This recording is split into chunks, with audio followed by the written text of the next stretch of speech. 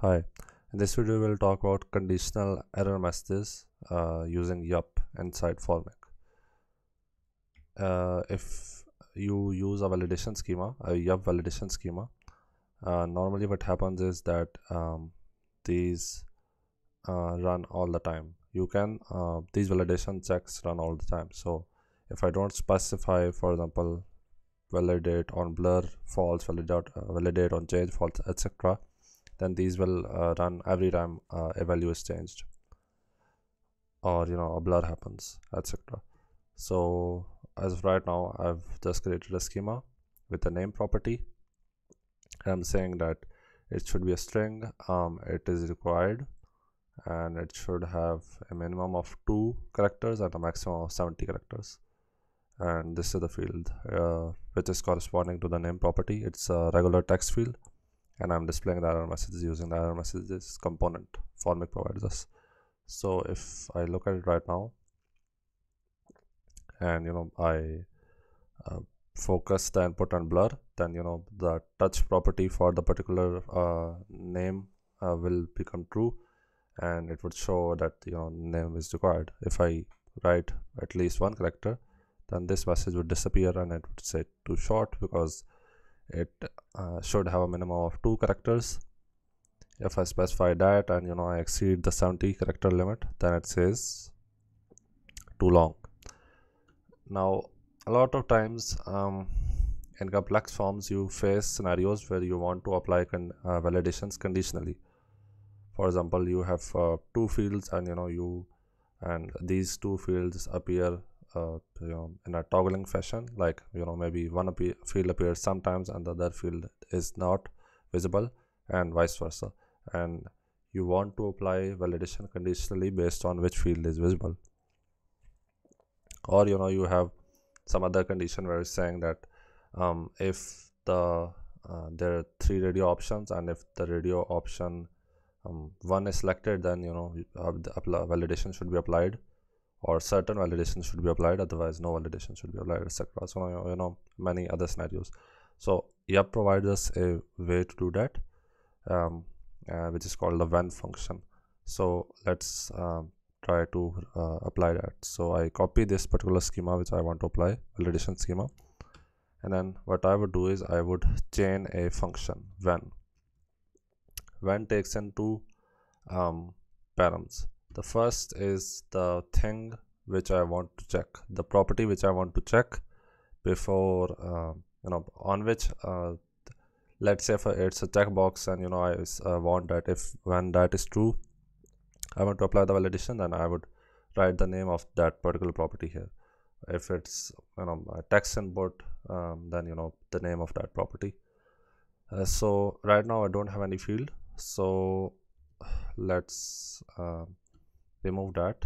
And uh, let's add a property here. So uh, let's say I have a boolean value apply validation which is initially false. So let's add a checkbox.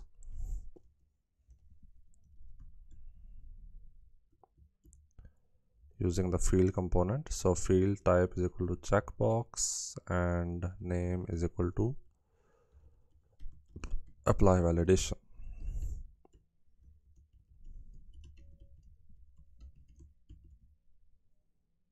and basically what I want is when I click on checkbox and it's true then the validation should be applied otherwise not. So what I will do is because the uh, property name for this particular checkbox is apply validation I would as a first param say apply validation. So apply validation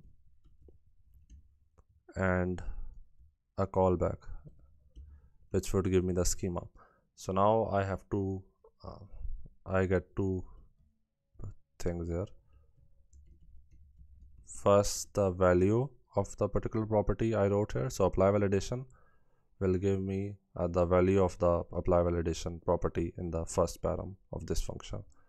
And schema is the schema uh, which is currently present. So for now right now it's the c++ string. so what I can do is if um apply validation then I should return schema.